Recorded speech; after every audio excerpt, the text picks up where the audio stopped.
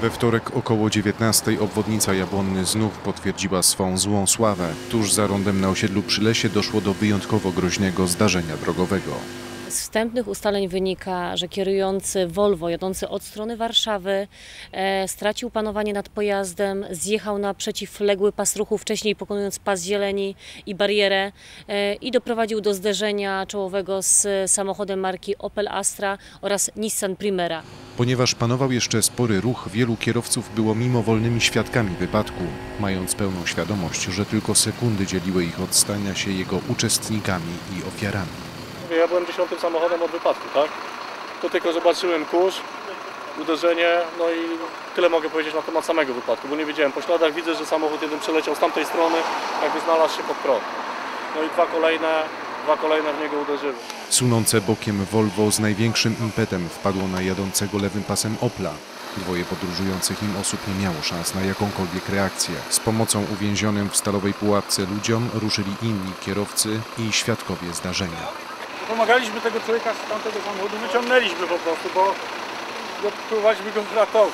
To jeszcze z tym kierowcą to- tego czerwonego też jeszcze rozmawiałem. Go trzymałem, blady był, ale, ale był kontakt z nim. Niedługo później, kiedy strażacy wydobyli go z wraku auta, stan 63-letniego kierowcy bardzo się pogorszył. Mimo prowadzonej przez kilkadziesiąt minut akcji reanimacyjnej mężczyzna zmarł. Dwie godziny później walkę o życie przegrała też odwieziona do szpitala pasażerka Opla, prawdopodobnie jego żona. Dwie młode osoby jadące Nissanem odniosły jedynie lekkie obrażenia. Pomocy udzielono im na miejscu.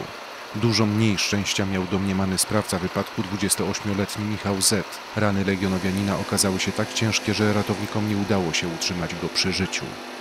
Teraz trwają czynności, prokuratorskie śledztwo wykaże e, dokładne okoliczności przebieg tego zdarzenia.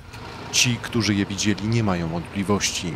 Są pewni, że kierowca Volvo wszedł w zakręt o wiele szybciej niż z dozwoloną tam 70. Ich zdaniem do tragedii przyczyniły się również złe wyprofilowanie oraz zabezpieczenie ronda. W trakcie jego eksploatacji dowodów uzbierało się już sporo. jak się wyjeżdża, a jak wyjeżdżam czasami tutaj, to jak leci jakiś, to moment jest i wypadek. W możliwie najdokładniejszym ustaleniu przyczyn tego wtorkowego policja prosi o pomoc. Apelujemy do mieszkańców e, powiatu legionowskiego, do osób przejezdnych, do świadków tego zdarzenia. Ktokolwiek widział e, tor jazdy kierującego Volvo, e, prosimy o kontakt z legionowską komendą 997 lub 112 lub telefon stacjonarny 22 60 48 213.